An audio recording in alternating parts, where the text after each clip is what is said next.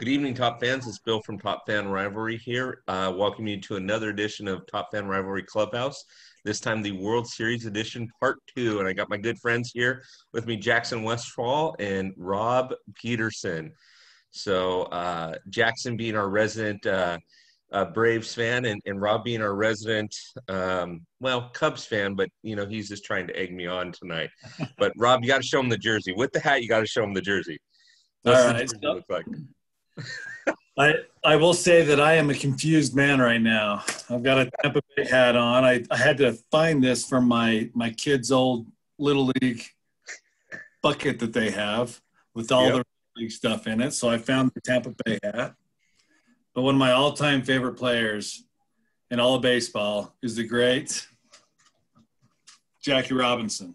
Yeah, that's right. Woo-hoo! I love Jackie. Number 42. The the big number 42. Um, I mean, how do you how do you get better than Jackie Robinson, right? You don't. But, that's the that's the first article that I wrote. Yogi says, "Tell me why the Dodgers are better than the Angels," and I'm like, "Let's start with Jack Roosevelt Robinson, and then you just from there it's all downhill, right?" Right. I mean, so. Jackie is the man. He's he he did a lot for baseball, but uh, you know, I cannot represent these two teams without showing some true colors here. This is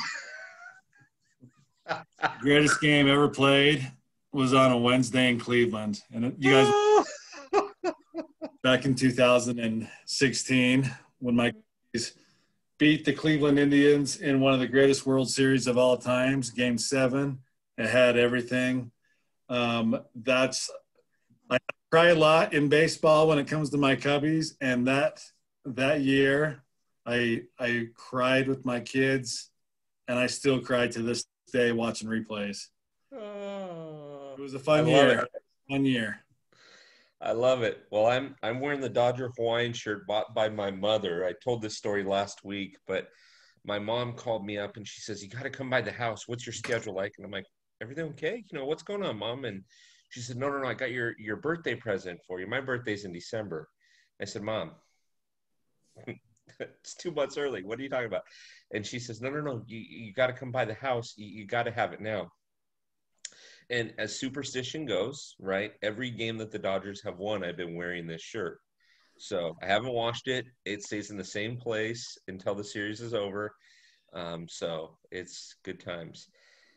But let's talk the series. Smells pretty good right now doesn't exactly. it? Exactly. Jackson, tell me, have you been watching the series, Jackson? I have been. Okay, tell me what you think.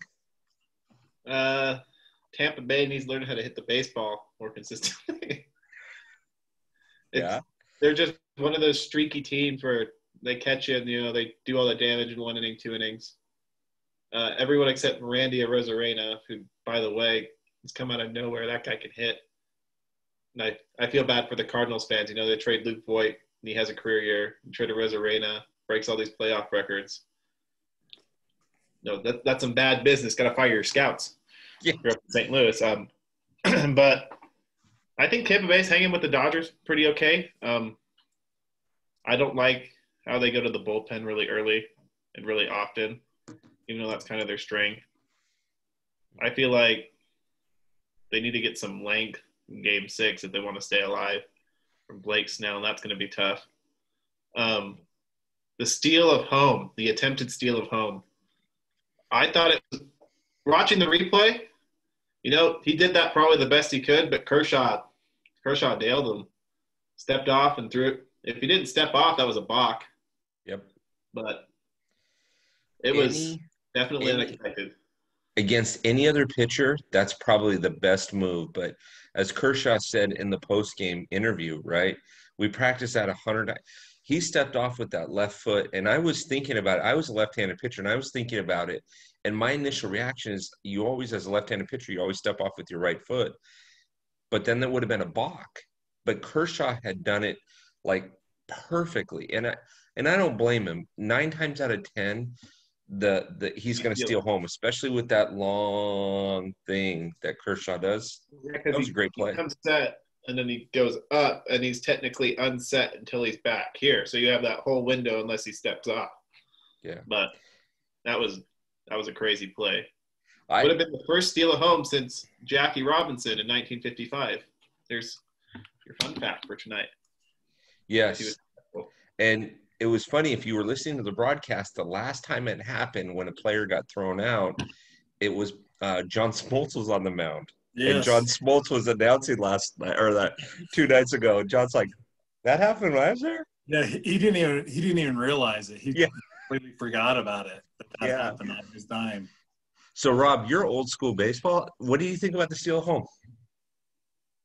You know, I I um I, I, thought it was a I thought it was a good play. I thought he got a good break on on on it as well. I mean, if if he was a second later, well then he would have been safe and they would have scored a run. And you know, knows what that could have that could have been a difference maker. I don't know. They still needed to manufacture a couple more runs, but I thought I thought it was interesting. It, it was funny. I follow this uh, I follow this Cubs page on Facebook, and after that, after he was called out at home, somebody posted. First of all, if you're going to try and steal home, your your name needs to be Javi Baez. That's your first. You got to be Javi Baez in order to do that. You remember when he did that in in uh, the NLCS against the yep. Um, but I I uh, it, it, was kind of fun to see that, but uh, as as Kershaw mentioned, you know, like who was it? Carlos Gomez of the Astros tried to do that to him a couple years, and so they, like you mentioned, they've practiced that time and time again because players are getting smart to to try and do things like that off Kershaw, but. He was ready for it, man, and, and kudos to Kershaw, uh, Kershaw for for making it happen. He got that out. You know, there was there's three keys to that play that will go. I um, John Smoltz mentioned it, one of them, but there's three keys to that play. The first was Clayton knew where to step off, and you got to give him props. And arguably, you're stealing home against a first ballot Hall of Famer. And I'm not being a Dodger goon by saying that. I think all three of us will agree. First ballot Hall of Famer. Um, secondly, Max Muncy immediately alerted Kershaw because Kershaw can't see it. He's got his back to it. And thirdly, when Austin Barnes caught the ball, he put his hand on the glove.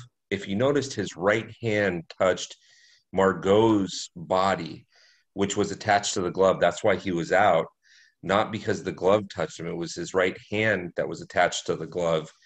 And had um, Austin Barnes caught it and tried to tag him with his left hand, Margot would have beat it and been safe. So there was there was three characteristics to that play that, you know, we've all played baseball, so we understand. But when you're watching that, it's just some people. You know, I was getting text messages. Why that was the stupidest play that ran themselves. Like, that wasn't a dumb play. It was very aggressive and it was very. It was early in the game. It was a very smart play because at that point you make it three to two and you put every all the pressure on the Dodgers. And so it was a great that, play.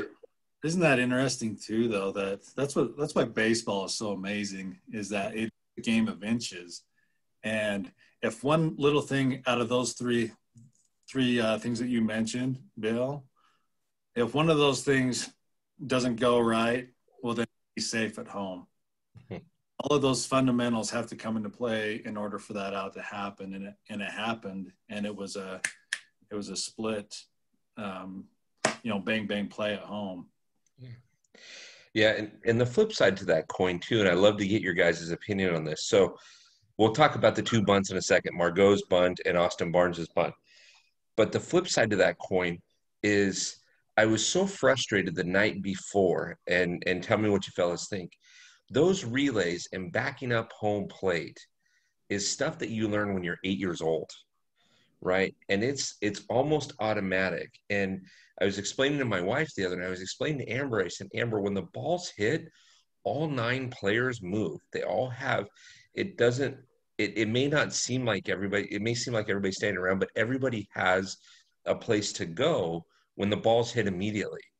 And Kenley Jansen being down the line, just kind of being a spectator, tells me mentally that he was out of that inning. Because if he's backing that play up, Arozarena is caught in a rundown and it ends the inning and it's 7 7, and then who knows what happens. But Kenley's just sitting there you know, obviously mentally beat. I mean, Jackson, talk to me. I mean, did you see that? Did you notice this? And um, what do you think? Yeah, I noticed he did back up home plate. I thought the bounce, he would have been on the third base side backing up the catcher. So I don't think he would have been able to get a Arozarena just because of the weird bounce it took. It hit the umpire afterwards after Leon Smith's glove.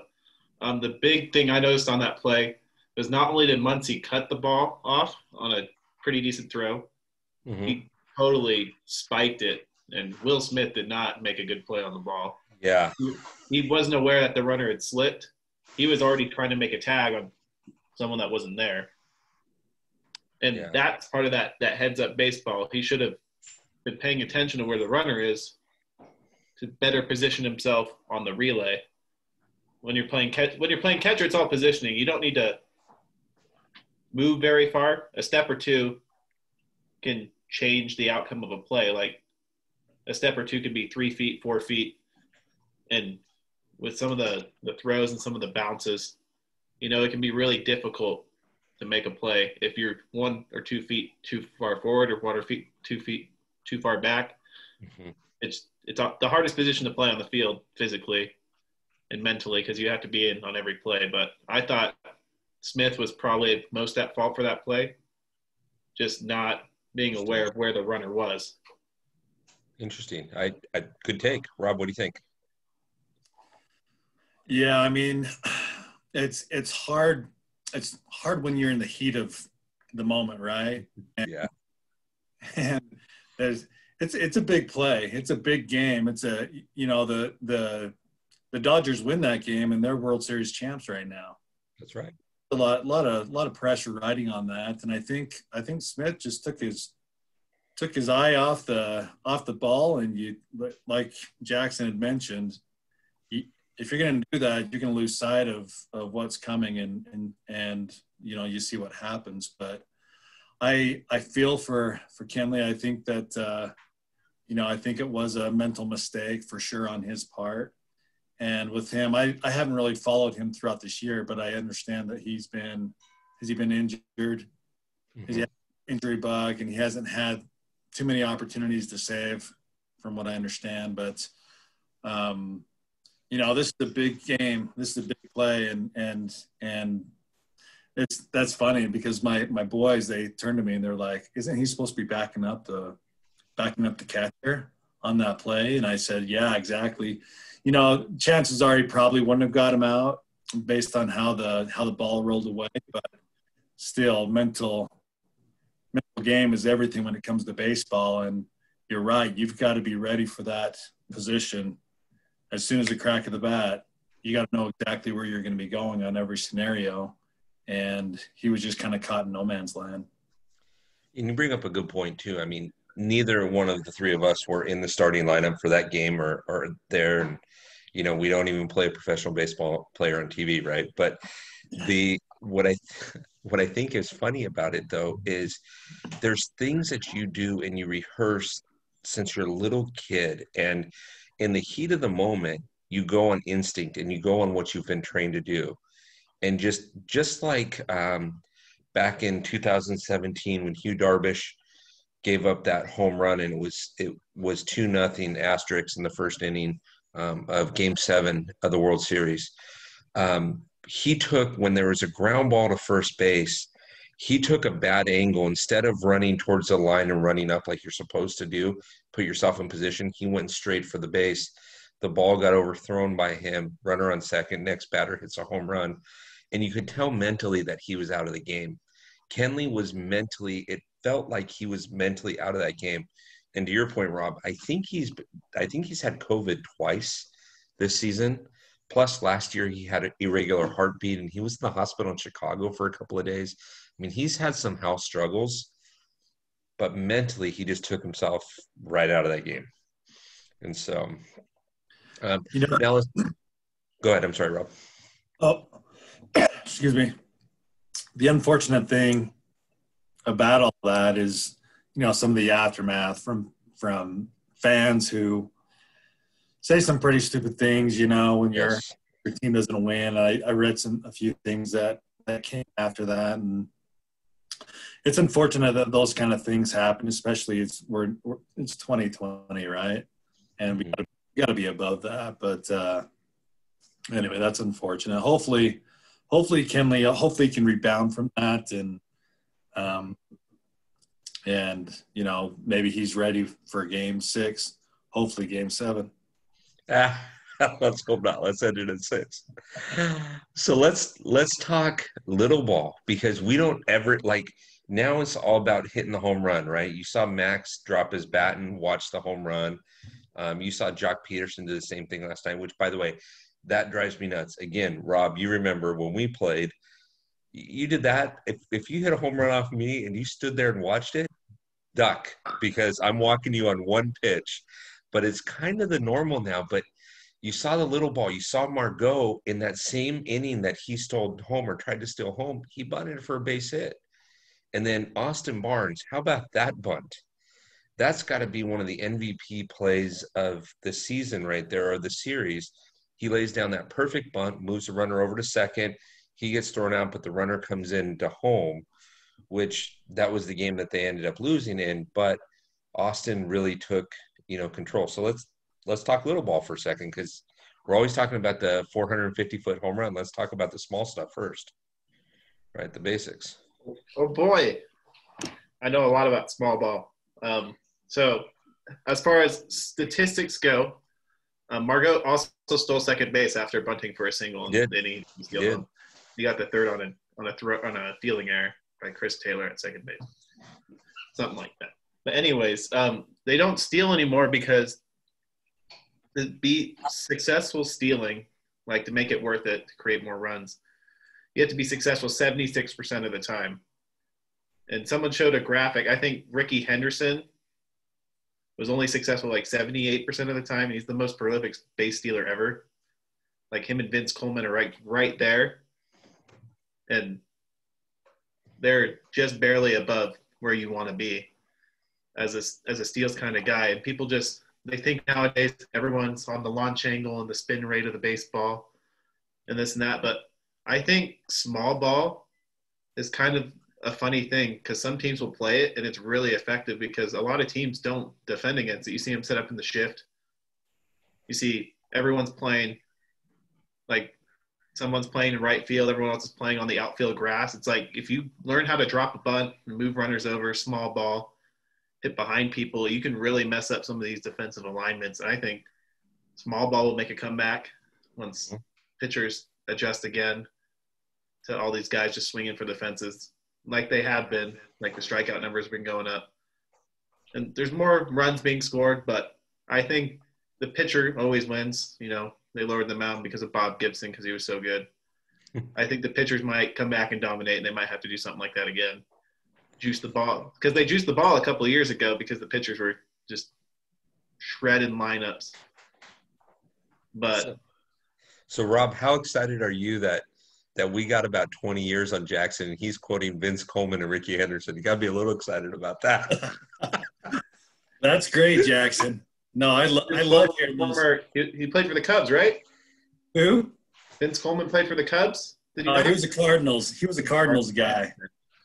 So he was one of our he was one of our foes. But man, could that him and Willie McGee, those guys. Oh my gosh. How to manufacture runs, and I think you're right. Like I miss I miss that. I miss the manufacturing of a run. Like see Margot steal second base, and then that ball getting away from the shortstop, it going out into little. I thought he was going to be out. Did you see how how late of a break he got when he saw the ball was? And he hustled down to third base, and I mean he was hauling to get to third base, but but that was all manufactured, and it was bunt, single, stolen base, run run get the third base, and then ultimately out at home. But I, I miss that small ball. I wish we because of the shift. I think you're right, Jackson. If if you learn how to lay down a bunt on these these shifts, these plays, or go the opposite way, and you can get some you can get some easy knocks um, just by playing that small ball. But uh, it, it, would be fun to see a little bit more of that. I know as a, as a Cubs fan, I was a little disappointed. We've this year was um, we talked a lot about the small ball aspect of it, where we we need to manufacture more runs in order for us to to get more more uh, I mean more hits to get more runs, but um, it's kind of a lost art really in today's game. It seems. Yeah, Jackson's right. It's all about the launch angle and the exit velocity, and I, who cares? The ball went over the wall. I don't care. Like, right. just tell me how far it went. I don't care that it was 112 miles an hour exit velocity. Who cares? It's gone, right? And you know, pitchers. I, when I was a pitcher, I knew when I threw a bad pitch and when the guy launched it. I sometimes I didn't even have to look back right? You guys were hitters. You guys knew when you guys squared up something. You didn't wait and go back in the dugout. What was my launch angle? I want to know what my exit velocity was. Who cares? The the very first time I ever saw a guy named Cody Bellinger play, it was his first season, and he had gotten called up, and I was sitting on the third base side. I didn't even know who this kid was. And they did this shift on him, and he laid a bunt down the third base line. And I'm thinking, why doesn't everybody do that when they shift, right? And then he's on third at one point, and or no, he's on second, and a ground ball into the outfield, and he rounds third, and he's going for home, and he sees the catcher kind of move up, and it's in left field, and he sees the catcher kind of move up towards the first base line, and Cody literally slides on the third base side and hooks around the plate where he can't get tagged out. And I looked at my buddy and I said, I don't know who this guy is, but he's here to stay. He understands baseball. Now this guy is swinging for the fence every time he goes up. And John Smoltz is right. He's got such a long swing and his body moves everywhere. Where Corey Seager is just locked in. He's looking at that pitch and he's just one fluid move. Like you're trained on how to do it. And Cody's all, you know, I every time he swings, I'm like, did that guy just throw out his back? I mean, I love them. Don't get me wrong, but doesn't it look awkward? Is it me or is it just just look awkward? So, anyway, yeah, he's been missing some. He's been missing some pitch, pitches, but uh, you know, when when he connects, yeah, oh yeah, is that a pretty swing? Yeah, the one out of thirty-five times that he connects during the World Series, it's it's pretty awesome. I tell you, you, you know, Bill, you mentioned uh, Corey Seager. You, you know, I I've always liked that guy. I remember he he just uh, he just raked on those Cubbies uh, a few years ago. Um, did he win the Rookie of the Year? No, and he was he didn't. He did. I can't remember which uh, who beat him out, but he was close, but he didn't win it. Was that yeah. 2016 or 2015? I think it was 2016. Yeah, I think it was 16, and there was just a lot of hype. I remember playing, you know, the Dodgers in the NLCS, and a lot of hype on Corey Seager, and I can see why, man. He's a phenomenal player. And then injuries and some other things happened throughout the year. So it's I was really actually pleased to see him win the uh, the MVP of the NLCS. Um, if it were to go to anybody, you know, it was cool to see it go to him because, you know, what he's been doing is pretty impressive. And he reminds me of one of those old school players. Yeah. I just love watching guys like that. I have your fact check. He did win Rookie of the Year. Oh, did he? Did he? I thought he missed it. Who came no, in second? Got, uh, Trea. He beat Trea Turner by a lot. He got all 30 first place votes. Okay, all right. Because I, I, for some reason, I didn't. Okay, yeah, he did. My bad, Dodger fans. I'm sorry. that, we learned that from a Cubs fan, right there. The the thing that's scary about him, though, it, and it, one of the reasons why we've got to win the series by the way, if we win the series, I think he's the MVP of the series. I mean, he's batting 500 in the series or 480, something like that. Um, is after 2021, he's a free agent. And the Dodgers need to back up the truck and bring out some cash for him. But there's going to be guys, there's going to be teams out there that are going to try to grab him. I mean, the Yankees are always trying to grab people, they're willing to pay for people. Um, I mean, can you imagine Corey Seager being in with with Aaron Judge and and uh, DJ uh, LeMahieu and and jo- or uh, Giancarlo Stanton. That short porch. Yeah, that's Murder's Row right there, all over again, right? So, there's a reference, Pete. I know you like. I love that. so, all right, with our last three couple, four couple minutes, tell me what you guys see happening for the final, hopefully the final game tomorrow night, but maybe the final two. What do you guys see? I the things that I let me just tell you from what I've understood. Um, it Gonsolin's starting tomorrow night, which scares the sin out of me.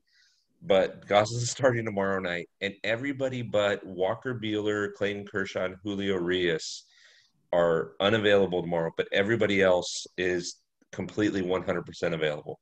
So we'll go in reverse order. Pete, tell me who you think is going to win the series. Tell me your analysis of it and and what you think is going to happen. I, you know, it's been a great it's been a great World Series so far. I've really enjoyed every game and and uh, you know the intensity's there. I I like I do like Tampa Bay in Game Six. I for reasons like you mentioned. I I think as a Dodgers fan, you know, seeing uh, Gonsolin on the mound.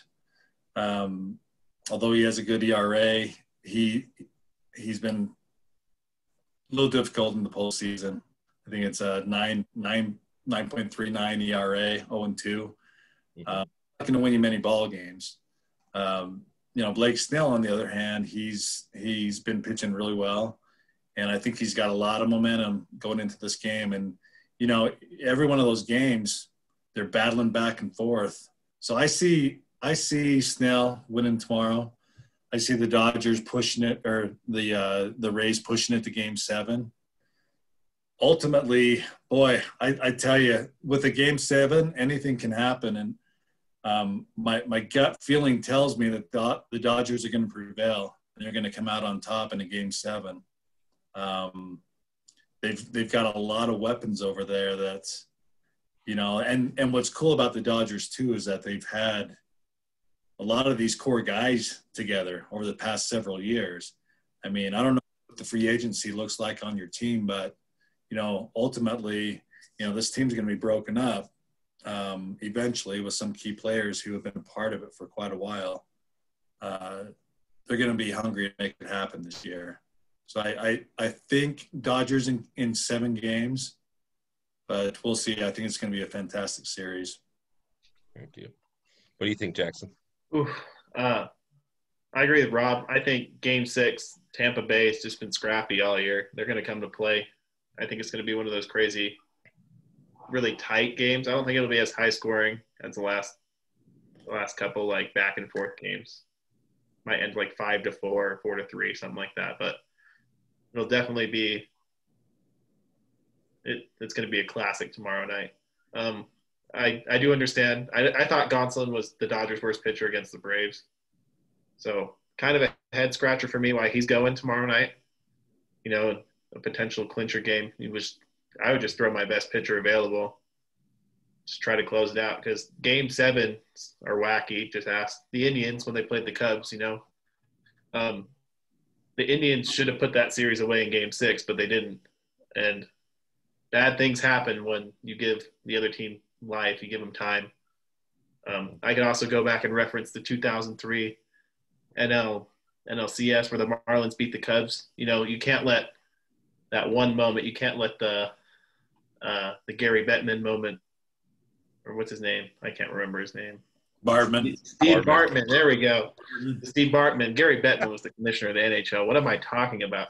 Ooh, Steve close Bartman. enough. Steve Bartman. Like you can't let a moment like that where you know coulda, woulda, shoulda, mm-hmm. where the Cubs, I think, lost their momentum not from that one play, rather from them from the result afterwards, losing that game. You know, you can't give a team that's scrappy like Tampa Bay extra outs. You can't give them extra opportunities. So I think it's a toss up. No, my hope and dream is that the Dodgers lose as a Braves fan. But like you said, Rob, you know, the, the, the brain is the brain is saying, the brain is saying to my heart, you know, this probably the Dodgers here. This is their best shot. Tampa Bay is the worst team they faced in the World Series out of the last couple of years.